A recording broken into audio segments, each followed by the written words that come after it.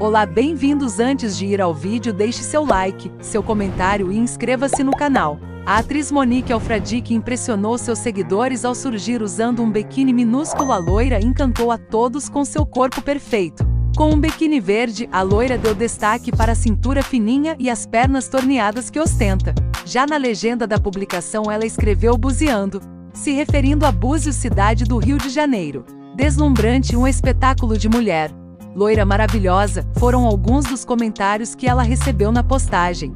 Em outra ocasião, a beldade postou fotos à beira da piscina e exibiu mais uma vez o seu corpo escultural. Linda caramba, belíssima deusa, maravilhosa, o sol apareceu, mas foi ofuscado por você. Ele que lute muito, dispararam.